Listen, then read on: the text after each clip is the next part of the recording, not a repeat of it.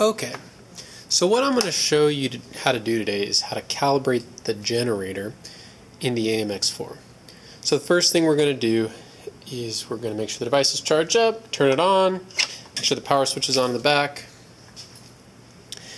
Um, it will run through some tests, self-tests that it goes through, and uh, we need to make sure we're in service mode. Now, if you, right now we are in service mode, but if you're not familiar with how to get to service mode, there is a switch right in here that needs to be flipped on. And when that's flipped on and you turn the power on, it will enter service mode. So as you can see, we are in service mode right now.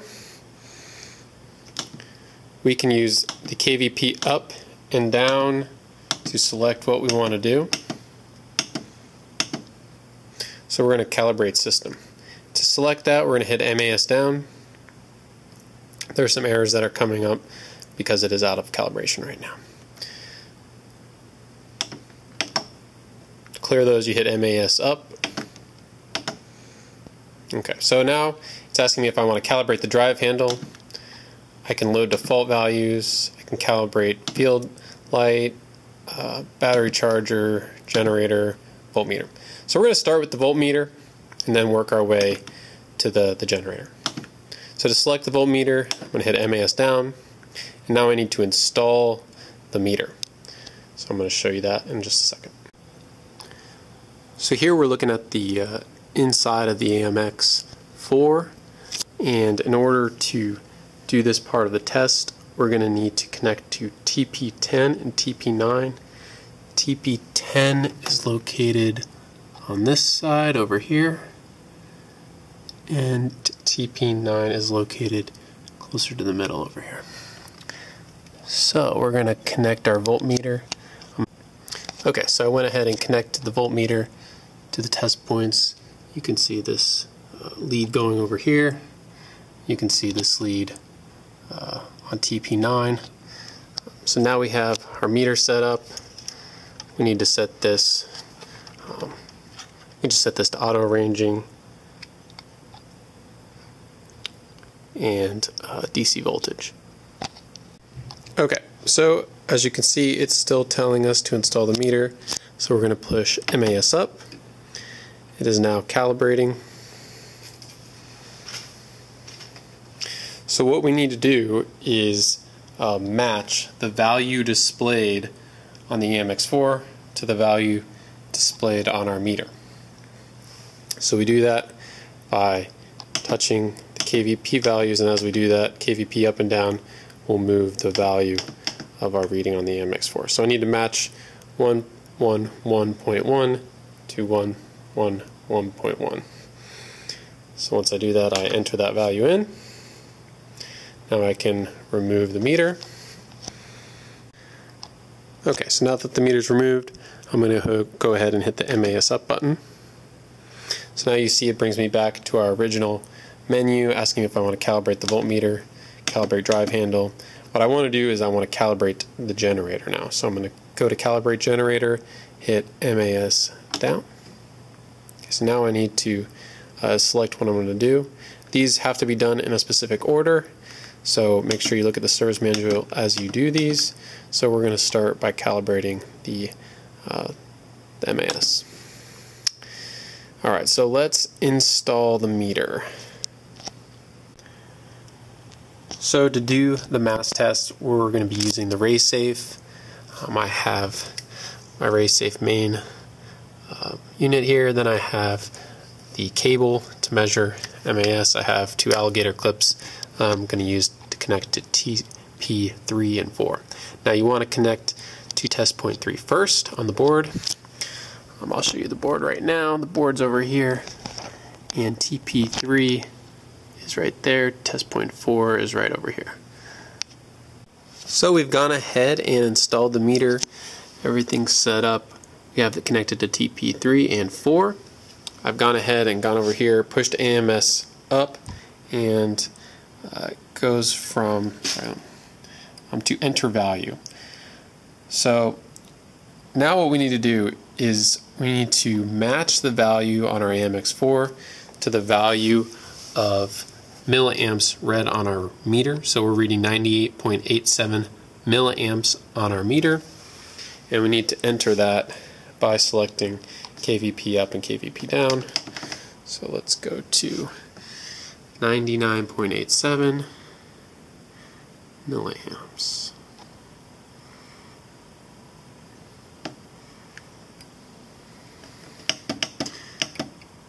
So in this case, I'm going to round up to 99.9 and I'm going to enter that value. This tells me to remove the meter, so I'm going to go ahead and remove the meter. The way I want you to do this is to remove TP4 first and then TP3. Once you've removed the meter, you can go ahead and let the AMX4 know that you're done with that. Okay, so we just calibrated the mass. Okay, now that we have the mass calibrated, we're going to want to calibrate the KVP. So make sure you select that with your menu. Select that with mass down. So now it's telling us to install a jumper, and I'm going to show you where that gets installed. Okay, so right here I went ahead and installed our probes on TP14 and test point 15. Now we can let our AMX4 know that we're on those test points. We do that by selecting mass up. Now you're going to hear the x-ray getting ready. Okay, so whenever you're going to see press prep, what that means is you're getting ready to press the x-ray um, and um, fire the x-rays and you want to make sure that you have a way to measure that KVP that's going to come out of there. Now the service manual is going to tell you one way to do it. We're going to use our RaySafe tester in order to measure the KVP values. So I'm going to show you how to set that up. Okay, so I've gone ahead and made sure that our uh, RaySafe RF sensor is set up in the crosshairs of the x-ray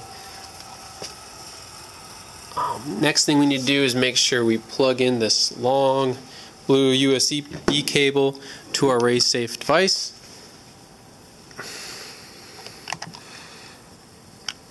So as soon as we do that, what we'll see is it'll detect that our tester's in there. Okay, so now it's ready to measure KVP. So once we have that set up, we're ready to take measurements of KVP values. What I'm going to do is get ready to activate the machine. So once you see ready for x-ray, take an x-ray. Whenever you see press prep, just repeat that process. Slightly push on the button, and then all the way. Okay, so now what we need to do is it's telling us to enter value. So we have our value on the AMX4, and we have our value displayed on the tester. Let's see if I can get the glare away. So the value we're interested in there is the 56.2 kVp. So you can see those are different. So we need to come to our kVp button here and go up to 56.2 and then enter that by hitting the MAS down. Okay, once again we get press prep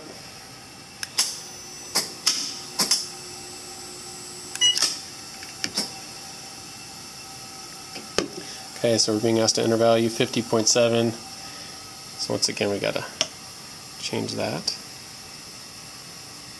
Oop, wrong way. 50.7.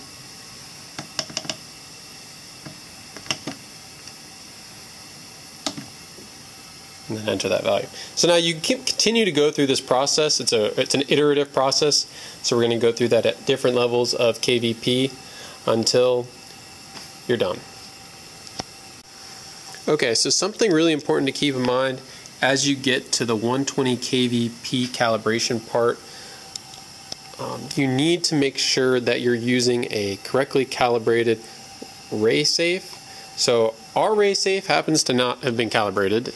Uh, since this particular issue's come up, so there are instructions um, that RaySafe X2 is provided. Uh, it's application note 2014-0516. So you need to make sure that for the first two exposures at 120 kV that you entered the measured kV plus 4 kilovolts. So in our case, what we measured was 121.3, so we would need to measure, or we would need to enter in 125.3 into the AMX4. So at this point, we've gone through all the KVP tests. Device is telling us to remove the jumper. So we're going to go down here to our board, making sure to carefully remove our jumper from the test points. Once that's done, we can let the AMX4 know that we've done that.